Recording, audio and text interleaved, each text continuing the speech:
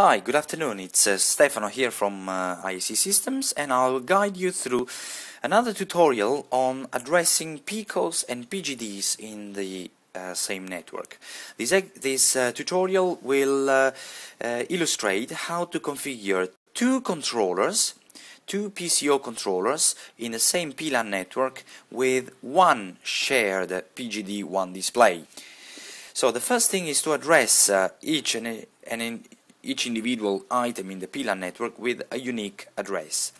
So we will configure the PCO, the first PCO controller with address 1, the second PCO controller with address 2, and the PGD1 display with address 32 and shared.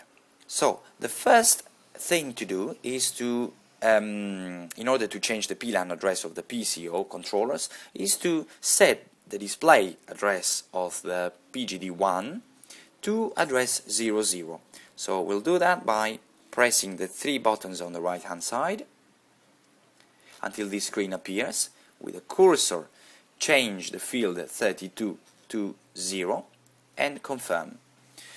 Once the display address has changed, we can power off and back on the controller and during its power up procedure we have to press the alarm bell and the up key.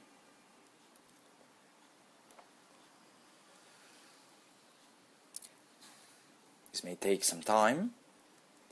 While the screen appears, keep pressing the buttons until this mask appears. Here we set the PLAN address of the controller.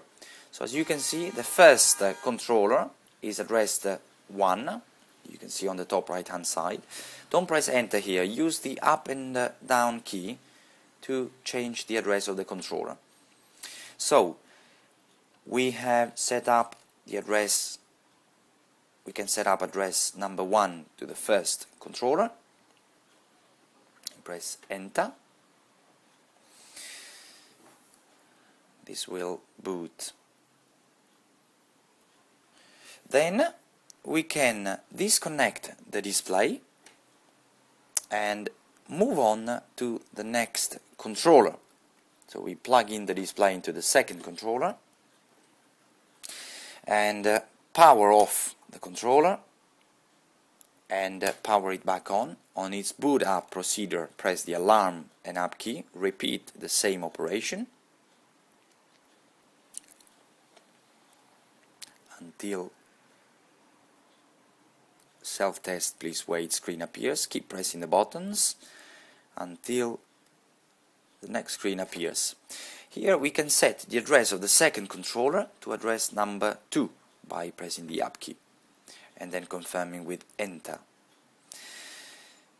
Now once the controllers are connected in a PLAN we now have to revert back the address of the display PGD1 to 32 and assign a property of shared. So how do we do that? We press the three buttons on the right hand side until the following screen appears. Press enter to modify the uh, to change the location of the of the cursor and bring this back to 32. Press enter. The no link uh, message appears, no worries. It just means that we have to repeat uh, this operation once again. In certain cases the screen uh, of the controller may appear, but we'll do that again.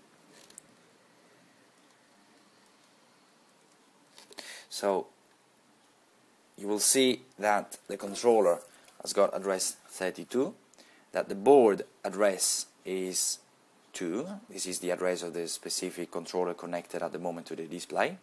We press enter and then uh, another key very suddenly soon after that in order to change the properties of the display.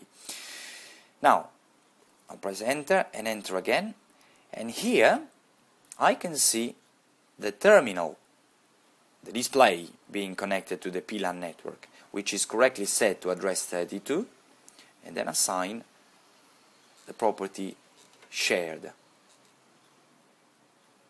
Sh confirm. Confirm confirm and again and then change this to yes. Once this has been done, we can save the configuration on the display and the display will be connected to the controller in a proper manner. Now to change, in this case I am viewing unit number 2 as you can see in this air handling unit screen on the top right hand side. If I want to change unit being displayed, it's quite easy. I press the PRG button, I scroll down the menu till I visualize and select the board switch, press enter, and then here I can switch to address number one.